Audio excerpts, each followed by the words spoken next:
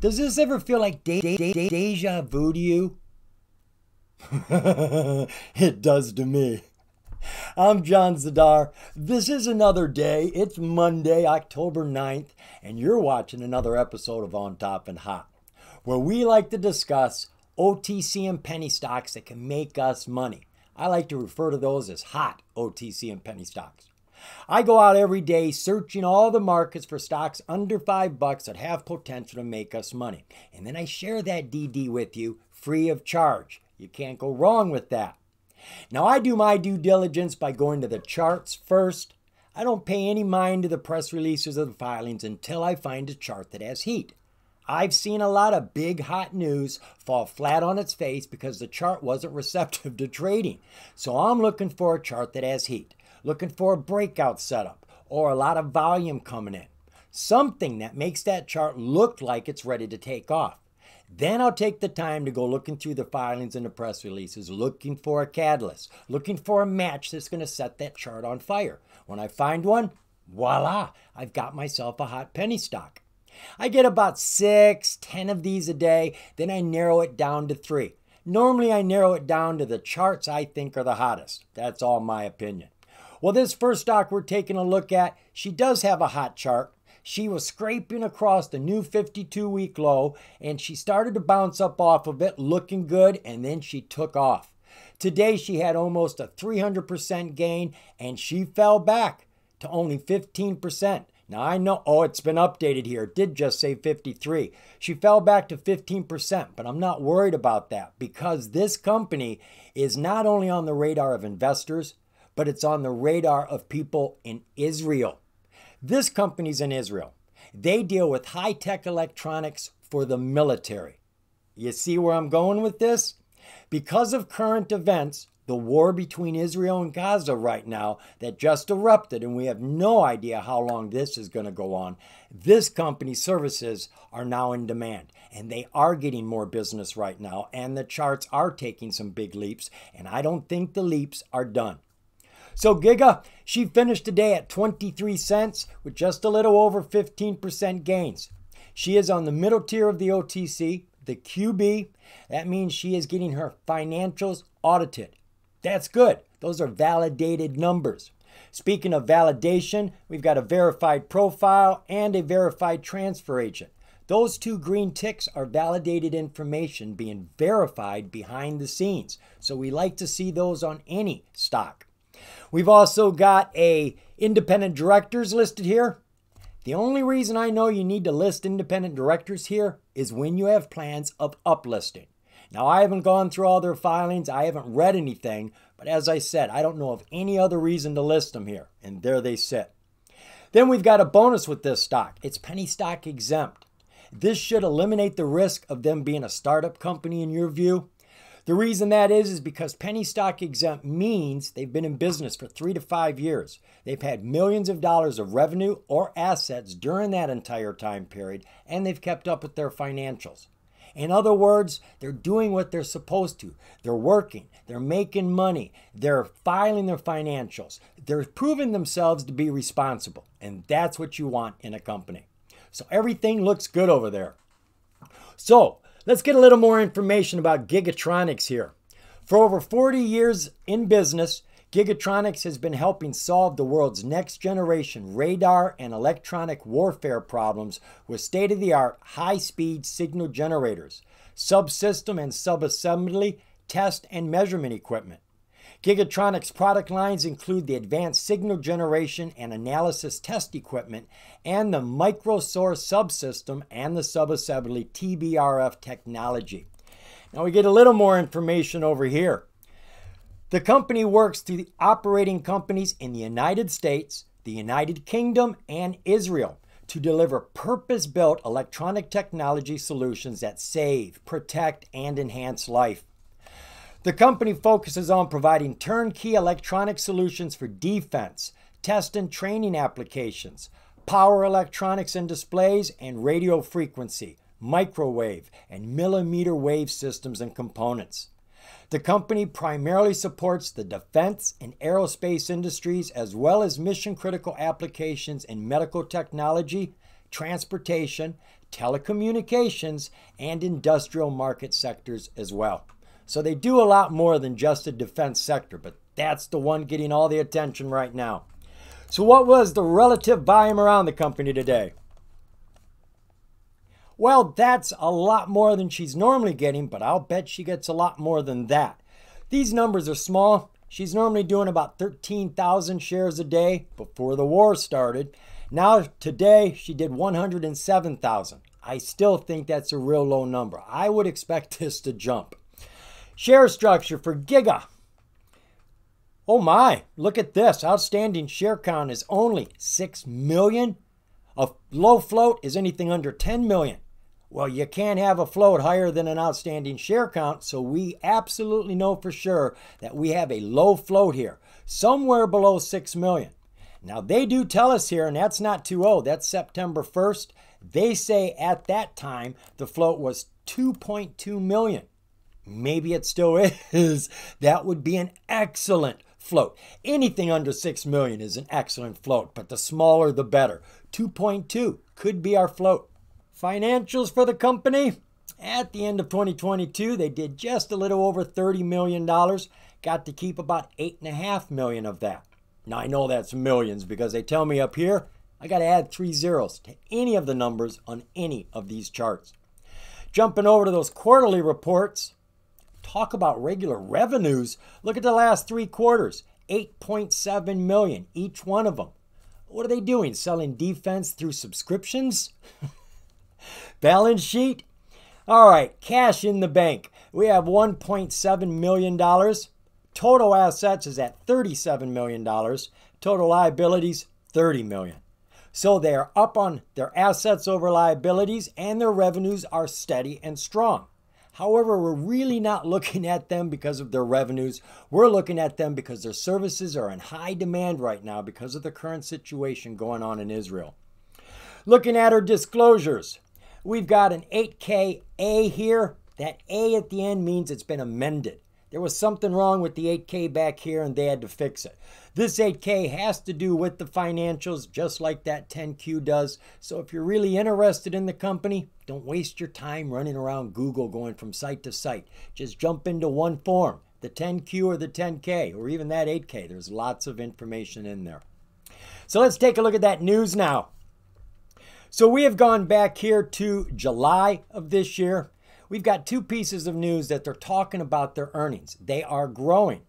Back in July, they said their bookings for the second quarter of 2023 exceeded 10.2 million. Then we jump up here to their third quarter, orders increased to 15.4 million. So they've jumped by 5 million, and that was before trouble. Then we had news come out today. The company's subsidiary Enertec Systems wins $20 million contract.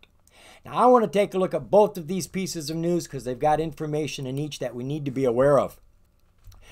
This one with their third quarter business reports. The company announced that its global business exceeded 15.4 million in bookings for the quarter ended September 30th of this year, a 52% increase in performance compared to the prior quarter.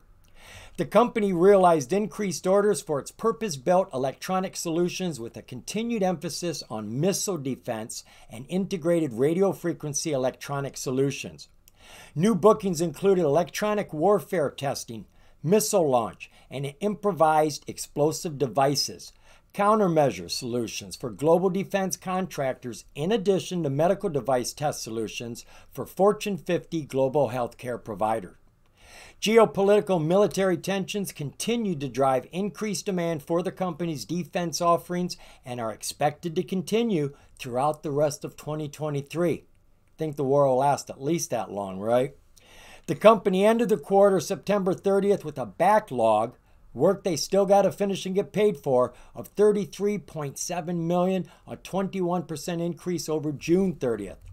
And that other piece of news, the company announced its subsidiary, Enertec Systems 2001, has been chosen to supply bespoke systems to a major strategic customer under contract with a total value of $20 million. Enertec is located in Israel.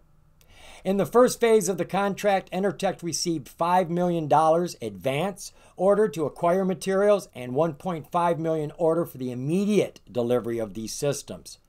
Enertec expects to receive subsequent orders for the remainder of the contract before the end of 2023. Performance of these orders will span a three year period from 2024 to 2026. We expect to receive additional large orders to deliver similar bespoke solutions for this customer over the next three years. I'm kind of reading between the lines there. It sounds like this war could go on for a while, but then these wars have been going on for like 2,000 years, if not longer. So, this is why we're looking at the company. They have a product that they need over there right now. And as long as that situation is brewing, this company stock is probably going to be brewing. Let's go take a look at that chart. We are taking a look at Giga, or is that Gidja? You know, Gidja is a word. Did you Gidja? They say that down south. Did you get your truck today? Did you get your check? Did you Gidja? but we're looking at Giga, as in Gigatronics, ticker G I G A. And we're going to chart this stock and all the other stocks on my free trading platform, Think or Swim. I got this when I signed up with TD Ameritrade, and that didn't cost me anything either. So we are looking at Gigatronics, ticker GIGA. This is a one day, one year chart. We have got a high back in November of $2.39, the only time she hit that 200 over this year. And from that point, she has been in a downtrend. And she came all the way down to this 52 week low, which she hit September 25th of 8.5 cents. And off of that, you can see she is starting to climb. Lots of volume coming in. Looking at our one day, one year oscillators, they are all pushing up. We got strength all the way back there. Coming down to our six month, four hour view. On the six month chart, our high is $1.29. She's underneath the 50 and right here. This is when things changed. She, she quit her downtrend and she started accumulating. She started having people buy shares at a price they all agreed upon. Right here, she's going sideways, consolidation.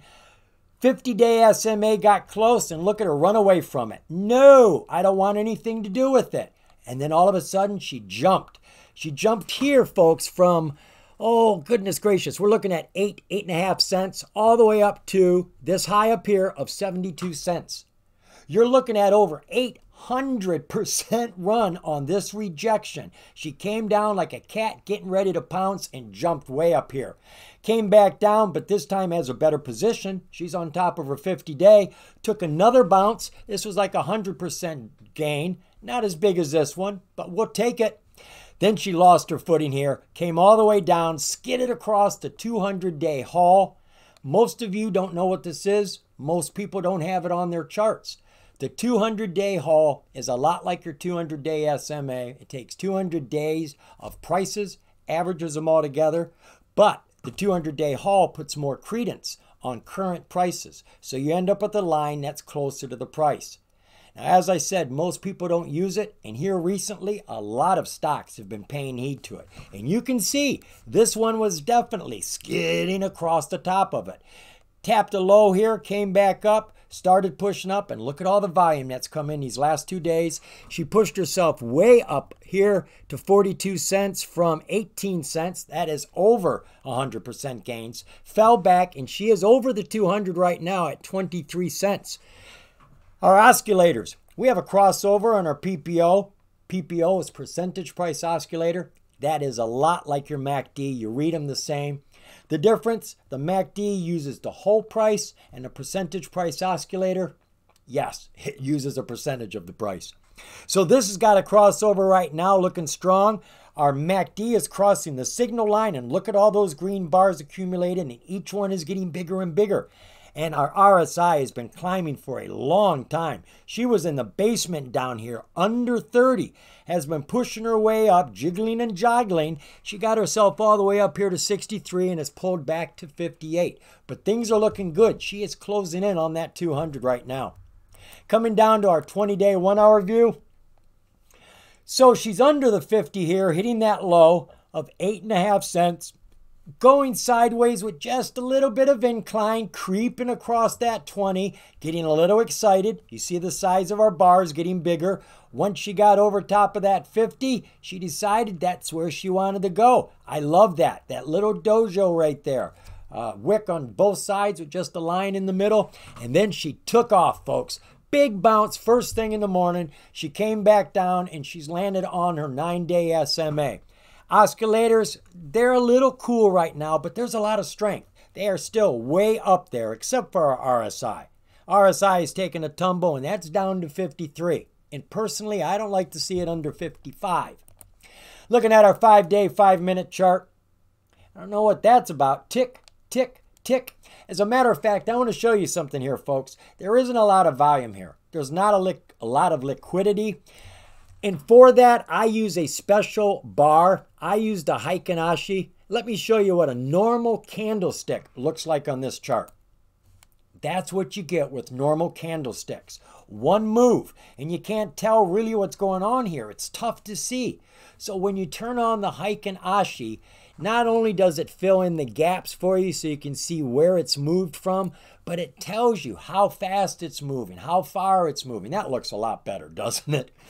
So on our five minute chart, we got our low back here of 12 cents, hit a high of 44 cents. You're looking at 350% gains there in about four days. Came down to our, our nine day SMA, and at the end of the day, she started to lose her footing on everything. Came under the nine, came under the 20. Looks like she's heading to our brand new SMA. Now, I've got a sneaky suspicion that every time a new SMA comes on the board, the price wants to go to it. Doesn't matter if the new SMA is above the price or below the price. When it gets on the board, in a lot of cases, the price goes to that line. Sometimes it stays there, sometimes it just hits it and goes back to whatever it was it was doing. That's what this looks like. So I would be hoping for a bounce off of this. In either case, folks, we know what's going on in Israel, and it probably isn't going to stop anytime soon here. And this company being in Israel makes them very easy to deal with. So I would put GIGA on your watch list for a while. I'm hoping you got a chance to catch my video I put out yesterday on AI companies. I think the AI sector is going to explode, folks. I think it's going to be the biggest growth we have ever seen in the market. And I covered three hot AI companies in that video. Well, I got another one for you now. This is Plurilock, ticker PLCKF. Now, I did cover this before, back in February. And the day we covered it is the day she hit her 52 week high. And ever since then, she has been falling. And right now, she is taking a turnaround. Her trend is changing. She's got a lot of strength. But the chart isn't perfect. But what is really looking good is the news. They have had lots of news here about big deals they're making with the government, with states, with municipalities, and it's looking hot because this company deals with AI cybersecurity. And right now, everybody is worried about being hacked by AI. And that's why this is so relevant. PLCKF finished the day at about 7.5 cents with almost 13% gains. She too is on the middle tier of the OTC, the QB, so she's getting her financials audited. And she's got every tick we could hope for over here. She's looking outstanding. So, what is Plurilock about? Well, they tell us here that Plurilock is an innovative, identity centric cybersecurity company that reduces or eliminates the need for passwords, extra authentication steps, like having to go to your phone just to sign into your computer.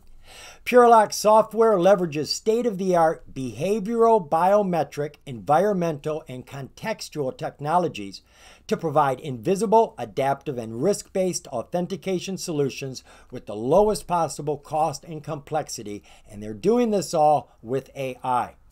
So, what was the relative volume around the company today? What?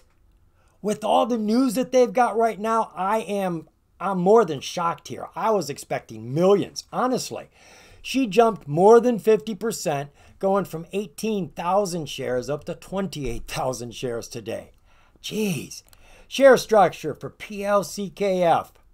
Outstanding shares 101 million. And they do give us a float here, which isn't too far back. That is July of this year. they say it's 97 million. So we virtually have all the outstanding shares. Now, there's a possibility it could be lower, but I wouldn't hold my breath on that. Disclosures for the company. No, not disclosures. We want them financials because they're good.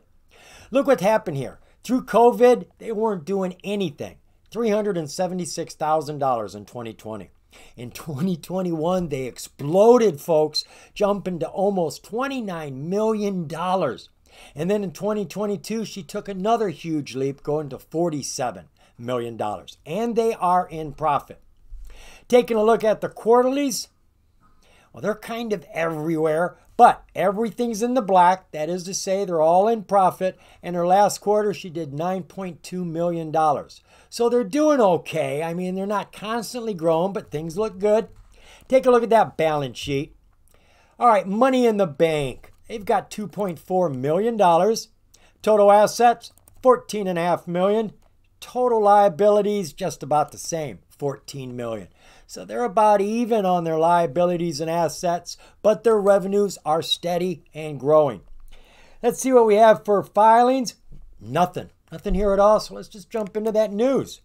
Right, we got lots of news here, folks, and I didn't know where to draw the line because the company's been doing business ever since we looked at it. But they were doing business with companies, corporations, apartments. They were doing smaller customers, if you will, now they're doing huge customers. So I'm going to start at the top and read these headlines, and we're not going in, into any of these because the headlines basically tells you. But most of these orders that you're looking at at the top are for three to five years with extension renewals possible. Plurilock receives $5.1 million sale order from the U.S. Department of Treasury. Plurilock receives a $4.2 million sale order from the U.S. Department of Health and Human Services. The company announces a contract with the state of South Carolina to expand distribution statewide. Plurilock signs first cross sale order for PromptGuard with U.S. financial service firm. Plurilock signs another $2.2 million contract with the U.S. Department of Defense. The company signs a $400,000 contract for cybersecurity solutions project with California State Critical Infrastructure Agency. And Plurilock announces generative AI safety white paper establishing guardrails for AI. Now, this I find very important. I haven't found a whole lot more news here, but basically, this is keeping your AI contained. You want it to do what you want it to do and nothing more. There are things we have to protect ourselves from from AI. And we don't really know if we can do this, but we got to get ahead of the game. So they have already started something they call establishing guardrails for AI. That would probably be a real good one to read, just for knowing. So there you go, folks. You can see they are dealing with very important departments now the Treasury, Human Services, Financial Services, California, Department of Defense, and there's lots more of them. And that is just here in the United States. Are they going to sell their product abroad? I really don't know, but I see a lot going on. You do see the dates here, right? This is October, October, September, September, August, August. So these are just in the last few months. These deals have just been solidified. The money is now coming in. So if you thought they were growing in revenues now, wait to the next quarterly report. Let's go take a look at this chart. Let's take a look at ticker PLCKF. This is a one day, one year chart. We've got a 52 week high here of 17 cents. This is when we looked at it last in February. And a 52 week low of 5.8 cents, which she hit on the last day of September. And off of that low bubble, she is bouncing and turning around right now. And you can see our oscillators are all trying to recover right now. Our RSI is climbing, our MACD has had a crossover, and our PPO is pushing up. Looking at our six month, four hour view.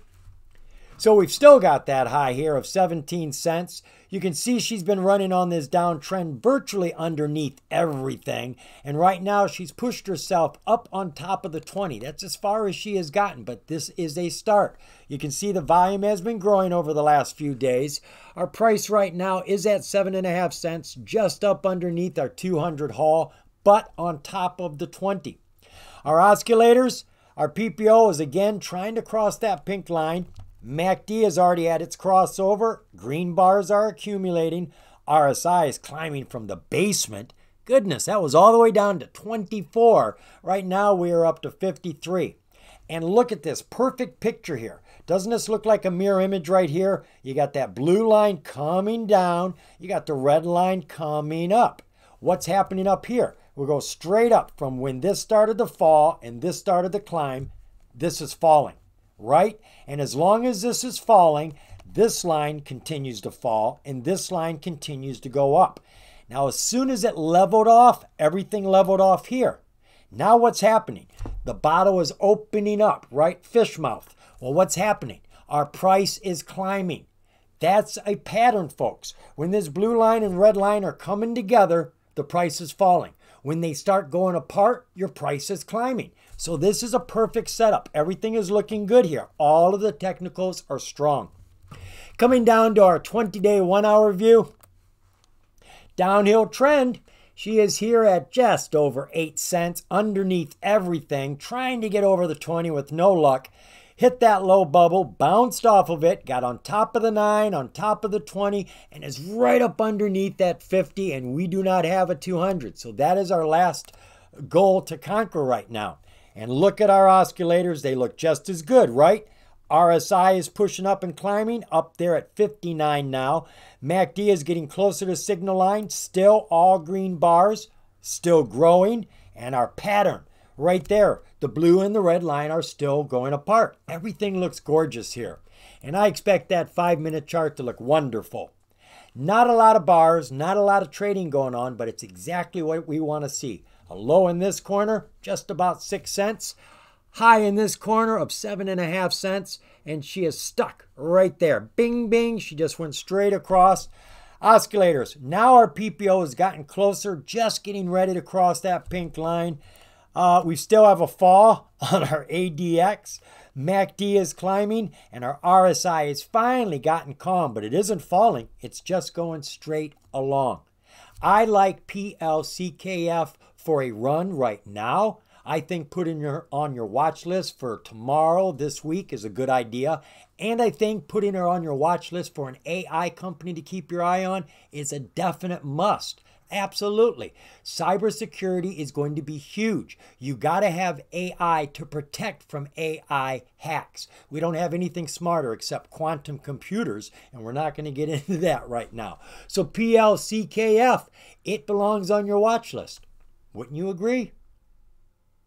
Our next top penny stock comes from the major exchange, the NASDAQ, where you don't have to pay for any of your transactions and you get to trade the stock pre market, aftermarket. You can't do that with the OTC stocks. We're now taking a look at Sonim Technologies, ticker SONM. Now, her chart at the beginning of the year was really nice. She had grown about 300% and she started to cool off a little bit. Then she came out with some really good financials August 14th, and the stock plummeted. It dropped 40%. And since then, it's basically been going sideways, waiting for that 200 day SMA to get close. Well, it got close, and she's breaking out right now. And she's had some good news here recently about how business is starting to take off. So Sonim finished today at 79 cents with almost 13% gains. So what is Sonim all about? Well, I thought she was a biotech. She's into 5G. She's into the internet and phones. Sonim Technology is a leading U.S. provider of ultra rugged and consumer durable mobile devices, including phones, wireless internet data devices, tablets, and accessories designed to provide extra protection for users that demand more durability in their work and everyday lives. We currently sell our ruggedized 10XP 5G phones to several of the largest wireless carriers in the United States, including AT&T, T-Mobile, and Verizon. We also supply 3 of the largest wireless carriers, Canada Bell, Rogers, and Telus Mobility. Our ruggedized phones and accessories are also sold through distributors in North America and Europe. Sonim devices and accessories connect users with voice, data, workflow, and lifestyle applications that enhance the user's experience while providing an extra level of protection. Now, to give you an idea about their phones, I've jumped on over here to their website, sonimtech.com. Now, these are rugged phones. These are meant to take a beating, take the cold, take the heat. I mean, literally, you could hit these with a hammer and they would not break. This is their standard smartphone the XP10 5G. Does everything mine and your phones do, but ours can't take a hammer hit. Theirs can. Then they've got this other phone, very unique. This is push to talk. This is using radio frequencies, kind of like CBs and walkie talkies do, but it's a phone too. So you can use it to call anybody you want, but you can also use it for free using the radio frequencies just by pushing a button and talking to your network of people. And finally, for the Star Trek fans, we have the flip phone. They still make it. Hey, uh, Scotty, beam me up. There's no intelligent life down here. Now, I've gone through all of this to get some information about the 5G aspect, but there is nothing here. We get all that information from the news. So, what was the relative volume around the company today? Not a lot of volume on the market, but I'm still expecting more volume than this. She did about a 100% increase today, jumping from 104,000 shares to 206,000 shares. Not really anything to get excited about, but it is an increase. She did double today. Share structure for Sonim. All they give us is the outstanding share count, 41 million. Our float can be anywhere up to that or below that. Market cap, about 29 million. Taking a look at the financials for Sonim, well, back in 2019, she had a grand year, $116 million, fell to 63, then down to 54, and now we are rebounding and we are close to 70 million at the end of 2022, and we're taking home profit, $11.5 million. Quarterly, how are we doing there? Great. Every single quarter is larger than the quarter before it. Steady growth. Taking a look at those disclosures. We've got some Form 4s here. You remember what Form 4s are, right? These are filed whenever the insiders acquire or dispose of shares. And we really like it when they buy or sell them. That's what we're looking for. Well, here they acquired a whole bunch of shares, but they didn't pay for a single one of them. They were almost a gift. Their anniversary, one year for something, and they get a bunch of shares for their one year anniversary. So, no purchases here, nothing we really need to take regard with. So let's take a look at that news then. Got lots of news here. Now, I have gone all the way back just to July. You see how much news we have here. Back in July, Sonim Technology launches their XP10 smartphone with Verizon. Then in August, Sonim reports 125% revenue increase to $26.8 million.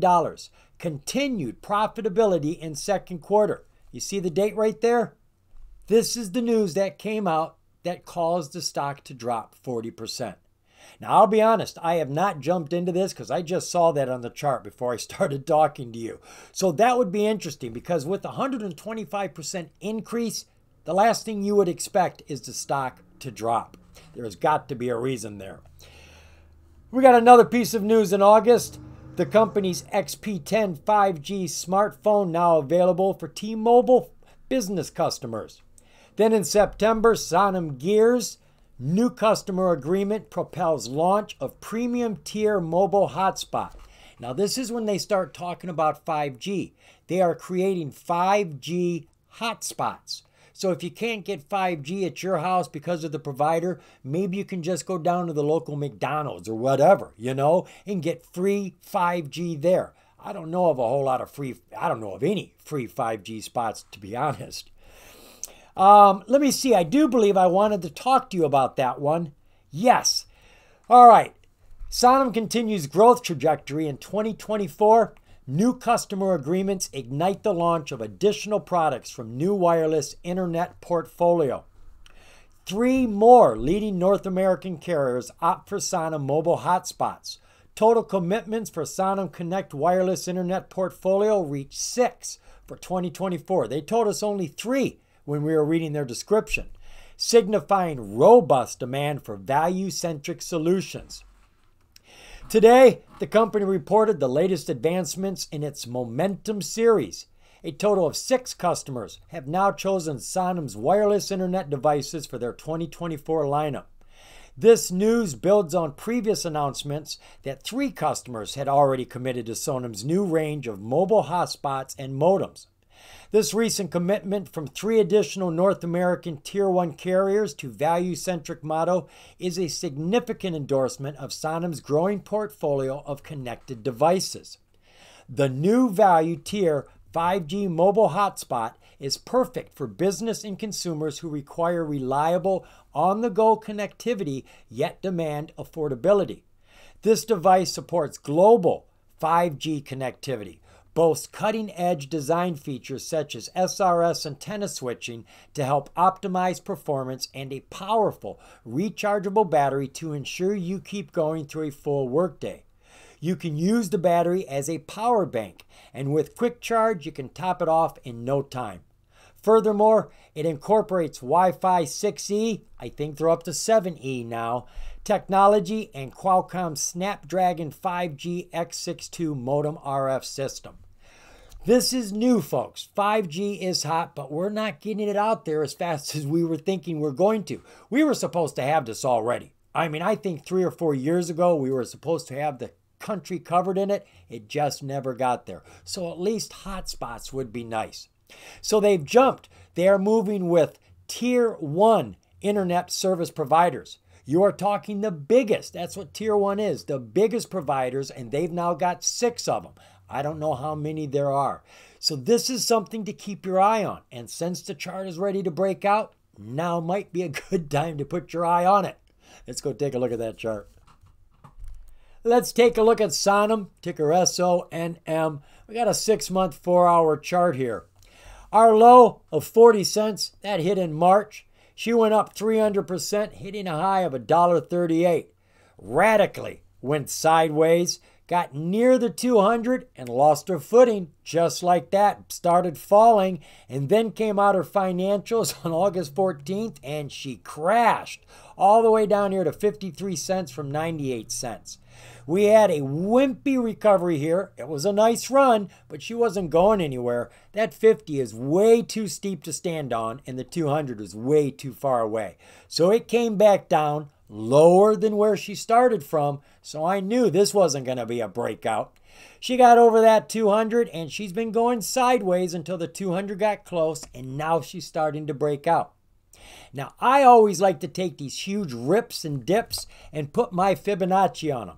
You start at the top, tag it there, come down to the bottom of it, tag it there. Now, what am I looking for specifically? The middle. I'm looking for the 50% mark. That's what they call it 50%. It is right there. When you are under the 50% mark of a dip or a rip, you are in the negative zone. You are probably most likely going to fall. You need to get above that 50 to get some strength, and then it's more probable that you're going to climb. She is just now, just now breaking that 50% mark. It has taken her a very long time to get up there. Once she gets up on top, she should move a lot quicker. Now I'm going to take our Fibonacci down. Now, I want to say this before I take it down. You see all these lines here? Those are supports, and resistances. Throw up a Fibonacci on this big dip, and over here right now, we can trade using these. They will be close enough to actually use.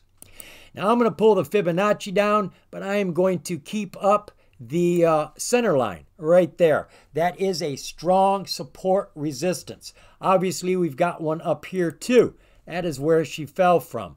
And up here at the top of this bad boy, there's going to be one there as well. So you can see she has bounced off of her 50. Once she got up on that 50, she was working it. She got close to the 200 and she has bounced off of her 20 up over top of the 200, broke one of those resistance lines, and she has pulled back. And right now, she is dead center of this one. Perfect placement, right? That's what you want, the center. If you're below, that's the negative. You want to be center or above. So that's a good place to sit. All of our SMAs are approaching the 200. Every single one of those will be a golden cross as it crosses it, giving her turbo boost each time. Oscillators are looking good. We got a crossover on our PPO. MACD is pushing up hard, though we do have a little bit of cooling off. You can see our bright green is dull green now. And our RSI has pulled back. It was in the overbought. It has fallen back down to 62. But it doesn't look bad. Everything looks good right here. Looking at our 20-day one-hour view. Wow. Look at this, folks. One, two, three. We're all coming down. And right here, these are all Bass Ackwards. This is 200. This is 50. This is 20. This is 9. These should be the other way around. The smallest on the top, the biggest on the bottom. Well, right here, we had a switcheroo. Look at all of them get into place. Here's our 200. Here's our 50. Here's our 20. Here's our 9. Voila! Houdini came into the picture here and did some magic, and everything is beautiful. We are now on an uptrend. Our 200 is climbing. All of our SMAs are on top of the 200. She is testing it. She hit it once here. Many days go by before she tests it again, and now she's jumping and climbing breaking through this resistance at 76, hitting 79. She is pulling back right now. Can't say as I like the way she's set up. Aftermarket hours, she's pulling back fast. She's like at about 73. Oscillators were very hot until the aftermarket period, and those are cooling them off a lot. Coming down to that five day, five minute. Low bubble here of 62 cents. The 200 day SMA is falling down right in this area. She leveled off and now she is going up. Our volume was strong today, a little strong yesterday, but all the days before were weak. She is looking good except for the fact of those aftermarket bars right there. Everything is starting to pull back, and it's a little scary because she could come down to that 200. Going back on the other charts, looking at the one hour, there's nothing close. There are no SMAs for it to bounce off of. This 20 is way down at 71 cents, and on the five minute chart, our 200 is down at 69. So both of them are in the same area. She could come down to that point. I'd watch for the bounce before I got into this if you like it. S O N M. She's got a lot of things going for her. That's why I've pointed her out. But I haven't shown you all the information, right? She fell for a reason on August 14th. I don't know what that reason is. Maybe it's important. And there's a lot more information for the other two stocks I did not cover. So please do me and you a favor. Do some more due diligence before you put your money into them. Remember, the more you know, the more you're going to grow. See you, folks.